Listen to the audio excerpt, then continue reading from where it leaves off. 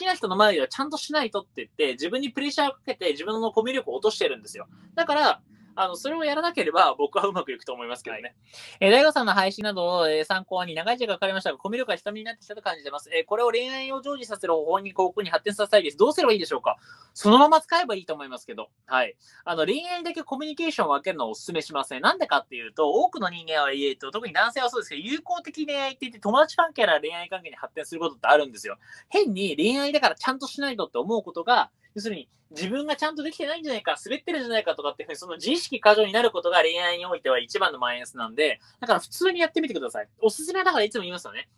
遊びましょうって言ってるんですよ。自分があんまり気持ちが入ってない女子と会うときは、自然に喋る人盛り上がる。でも好きな人との前ではできない。どういうことかっていうと、それは好きな人の前ではちゃんとしないとって言って、自分にプレッシャーをかけて自分のコミュ力を落としてるんですよ。だから、あの、それをやらなければ僕はうまくいくと思いますけどね。